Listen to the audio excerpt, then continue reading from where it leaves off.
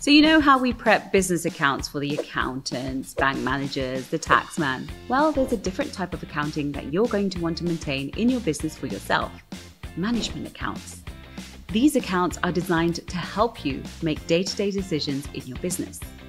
The main part of management accounts is that apart from the income that you're tracking, there are two types of business costs fixed and variable.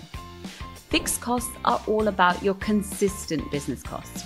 They're regardless of how many units you sell in your business. Things like your rent, insurance, wages for your permanent staff, and all of that jazz.